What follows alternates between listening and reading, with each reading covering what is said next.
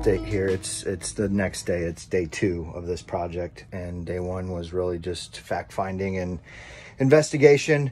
And uh, now day two, we're gonna try and start to make some wiring connections. Um, so I'll show you a few things.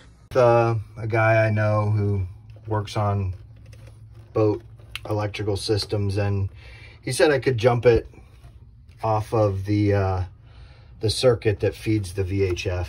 Uh, so it's a 10 amp circuit and I'm gonna jump it off these wires. Haven't figured out exactly where yet. I'm gonna take this panel cover off again and see if I can get a little more slack. And then I'm gonna use, uh, I was gonna use some T connectors, but I decided to go with terminal blocks instead. So I'm gonna bring uh, essentially one wire into a terminal block. So I'll bring one red in and then two will jump off of it. Uh, one to the one to the AIS unit and the other to the VHF. I have these terminal block jumpers. So I'll put one of those jumpers on this other side of the terminal block um, so that the, the one wire in, two wires out. So I thought it was important to share with you this schematic, uh, wiring schematic that I roughed out when I was trying to plan this uh, install. Uh, maybe explain a little bit better uh, why I'm going with the terminal blocks. So the two lines uh, at the top of the page running left to right represent the uh, positive and negative wires, the red and the black for the VHF. Uh, black would be the negative. So the wire is going to be cut and I'm going to install the terminal block right there where it says, where it's a, like a T.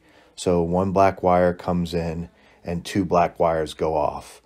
One black wire goes back to the VHF and the other black wire goes to the AIS.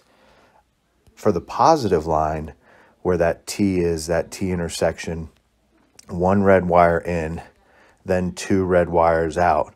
One red wire goes back to the VHF.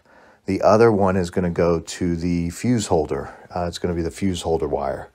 So then once I bring the fuse holder wire off, I need to land that on a terminal block again. And then off that terminal block is another red wire to the AIS. So connection points are represented by the rectangular blocks. Um, I hope that gives you a little bit better insight into um, how I was planning on wiring this.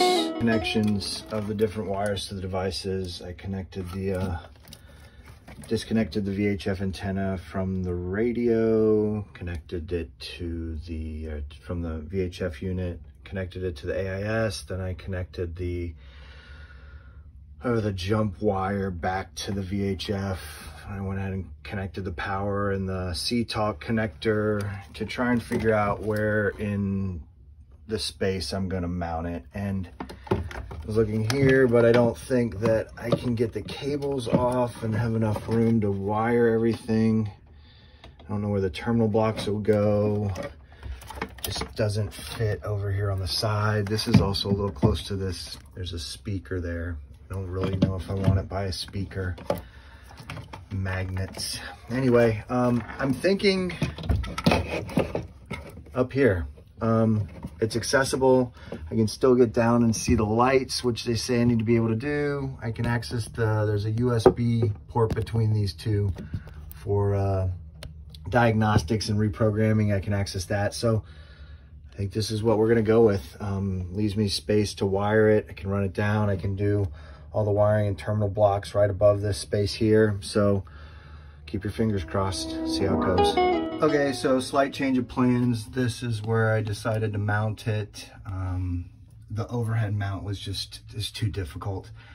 Uh, so I flipped it on its side and put it right there. So now we'll start to make some connections. Okay, so I'm still wiring everything, but I thought just out of an abundance of caution, I would close the panel to make sure that everything fit, and it does. So good news, it's mounted. I'm starting to pull some of the wires um, so that I can figure out where I'm going to install the terminal blocks and the inline fuse holder. Stay tuned. Okay, so here's where we are on the install. I've got the unit mounted, connected the SeaTalk. I've routed it through the raceway up and into an empty SeaTalk port. I've connected the VHF antenna. It's up on the mast here. I've connected the out to the radio unit and cable, which route through the raceway and comes back up over here. Put a couple zip ties on.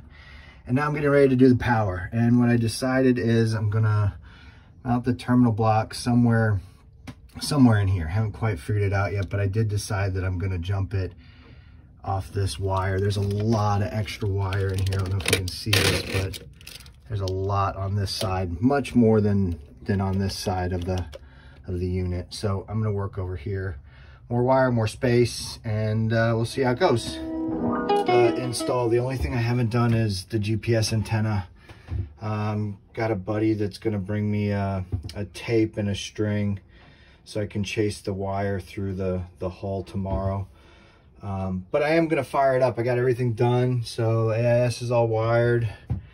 Um, someone told me the ground's optional, so I'm gonna follow up on that, but it sounds like you have to ground it to the hull strap. Can't ground it to the negative terminal, specifically says so in the instructions. But I got the power wiring done. Here are my terminals. So here's what I did. Um, circuit power in, and then that jumps. There's a jumper there, and then one goes to the AIS and one goes to the VHF. Actually, this one goes to the fuse, inline fuse, and then back from the inline fuse to the power cable. Um, and then there's the other one. So moment of truth, we've put everything back together. We put all the covers on. We're going to turn on the DC power and see what happens. Stay tuned.